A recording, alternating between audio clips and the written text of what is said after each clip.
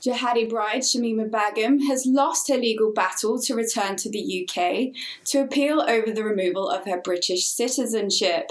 The Supreme Court unanimously ruled in favour of the government on Friday and said Begum could not come back to the UK for a court case to reclaim her British passport for the safety of the public.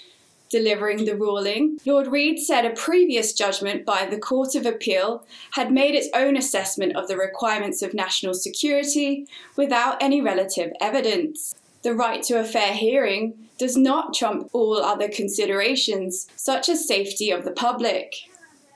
The result of the Supreme Court's unanimous decision is that Ms. Begum's appeal against the leave to enter decision is dismissed her application for judicial review of the leave to enter decision is dismissed, and her application for judicial review of SIAC's decision in her appeal against the deprivation decision is also dismissed.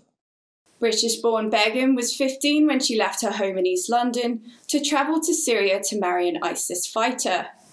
Now 21, she has been stuck in northern Syria ever since. Valerie Brown, The Sun.